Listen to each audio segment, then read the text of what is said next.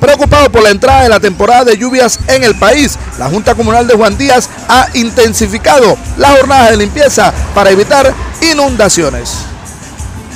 El apoyo con la coordinación de los vecinos para eh, mejorar estas áreas porque son puntos donde los malhechores se están escondiendo, están afectando a los vecinos del área y buscando la manera también de crear el entretenimiento positivo aquí con la juventud, creando eh, estas ligas deportivas donde ellos mismos la están organizando y la han denominado eh, Juventud por la Paz. Con el incremento de las lluvias también vemos el tema de las inundaciones. Sí, nosotros muy preocupados porque todo el verano, desde diciembre, hemos estado trabajando con palas, camiones, retocavadoras, eh, el tema de los canales pluviales, el río Juandía, el río Palomo, el río Matías Hernández, el río Tapia y la quebrada La Gallinaza principalmente, pero la verdad es que esto no es eh, la totalidad de lo que se necesita, necesitamos realmente que el gobierno venga y haga su trabajo, ahora mismo tienen la disponibilidad de un fondo que nosotros habíamos solicitado en un consejo de gabinete, ahora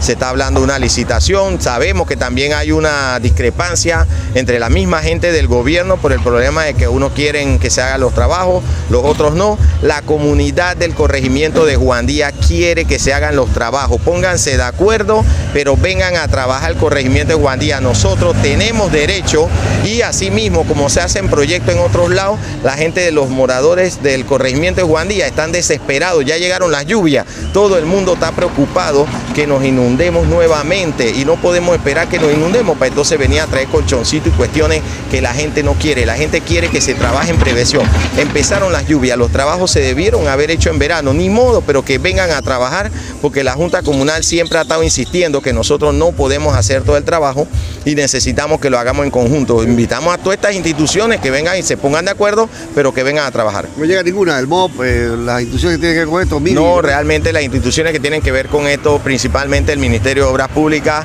eh, Meta, está agarrando la responsabilidad con los recursos que nosotros insistimos que nos establecieran. Ahora hay una discrepancia entre ellos y nosotros lo que queremos es que estos eh, se pongan de acuerdo, pero que vengan a trabajar el corregimiento de Guandía en tanto que la profesora Mixuca Fuentes, concejal suplente, dijo que las jornadas de limpieza se hacen con el objetivo de eliminar criaderos de mosquitos y evitar epidemias.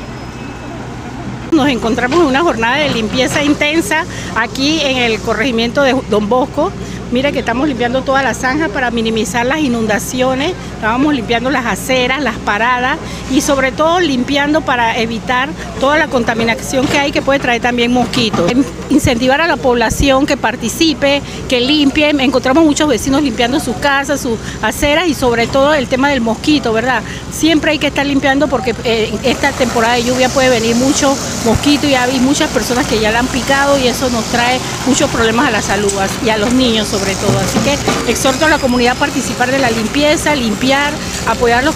compañeros de la Junta Comunal que trabajamos sábado y domingo y sobre todo para mejorar las condiciones de vida de nuestro corregimiento. Mientras que las autoridades competentes se pongan de acuerdo para buscarle solución a esta problemática, la Junta Comunal de Juan Díaz continuará con las jornadas de limpieza para evitar inundaciones, aseguró Sucre. Para Panamá Info 507, Alcides Quintero Batista.